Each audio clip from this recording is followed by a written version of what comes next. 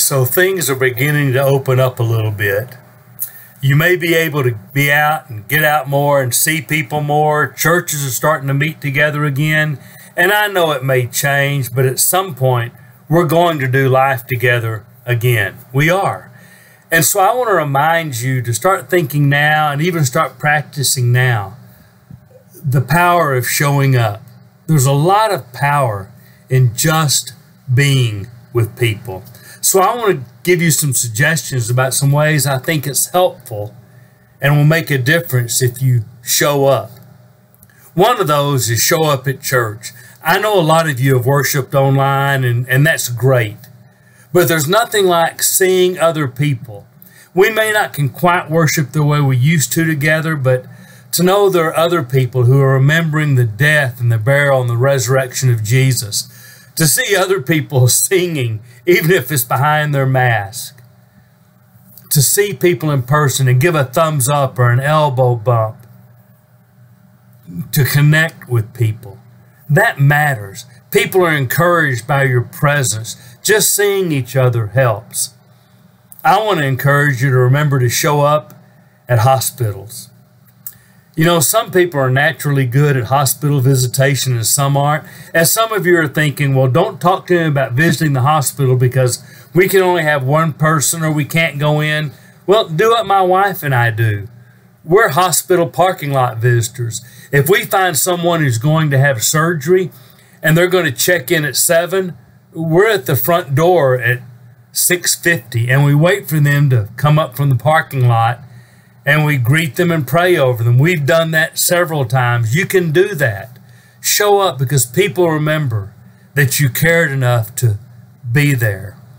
I want to encourage you to show up at funerals. I've done several funerals during this time and they are strange and they are different.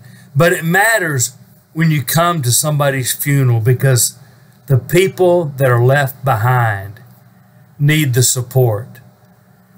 It encourages them, it reminds them that someone cared about their loved one, it reminds them that someone cares about them. So show up at the funerals, but not just church and hospitals and funerals.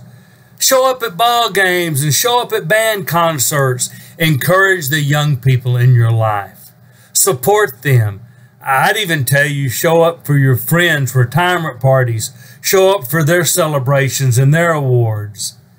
We need to learn to celebrate with each other, and everybody expects, every kid hopes their parent and their grandparent will be there, but it's nice when somebody else shows up to cheer them on. Somebody from church or in their neighborhood that loves them and always remember some kids don't have anybody to show up.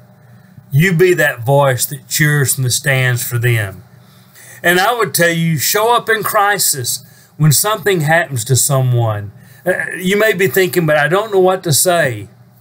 Boy, carry a, basket of fruit, carry a, a snack tray, carry a homemade pie, carry a meal. Just to show up and knock on the door and say, I want you to know I'm thinking about you maybe to pray over them quickly. The visits don't have to be long, but it matters when people show up.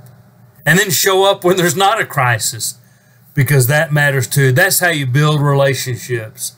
Go ahead and bring over that those muffins. Go ahead and take a pie. Go ahead and because you know what? People remember the people that were nice and showed up when they didn't have to and nothing was happening because that gives you the credibility to show up when things do happen.